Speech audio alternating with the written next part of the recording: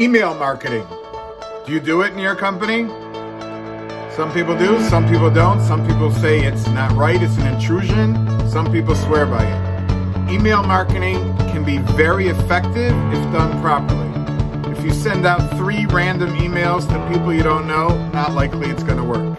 If you are constantly collecting email addresses in the appropriate way and doing targeted email marketing campaigns, designed properly with the right content, executed properly, displayed properly, sending always to the right people, you will grow your business.